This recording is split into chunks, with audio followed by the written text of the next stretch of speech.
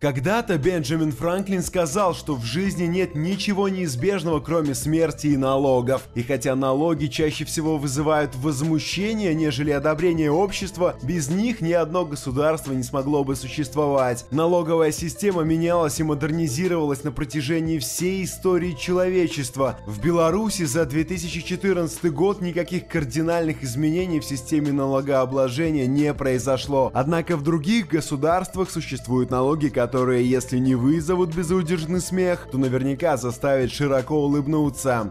Вот, например, на Балиарских островах существует налог на солнце. Еще в начале 2000-х с туристов, прибывших на популярные курорты Ибицы, Майорки и других островов, начали брать по одному евро за каждый день, проведенный на отдыхе. С учетом того, что ежегодно Балиарские острова посещают около 10 миллионов туристов, сумма получается внушительная. А вот в Венеции 21 год назад ввели противоположный предыдущему налог на тень. Не Необычным сбором обложили почти всех владельцев магазинов, ресторанов и кафе, тень от заведений которых падала на муниципальную землю. Притом платить в казну бизнесменам приходится и в пасмурную погоду. Если вы любите татуировки, то жизнь в американском штате Арканзас вам может обойтись дорого. Налог на пирсинг и тату уже успел попасть в рейтинг самых необычных налогов США по версии журнала Time. Его ввели в 2005 году. Теперь каждый Каждая нанесенная на тело татуировка и каждый прокол требует дополнительной уплаты налога в размере 6% от их стоимости. Одни говорят, что это было сделано для того, чтобы снизить риск заразиться такими опасными заболеваниями, как ВИЧ, гепатит или туберкулез. Другие, что таким образом американский штат решил заработать. Ведь по статистике татуировку можно увидеть у каждого третьего американца в возрасте от 25 до 34 лет.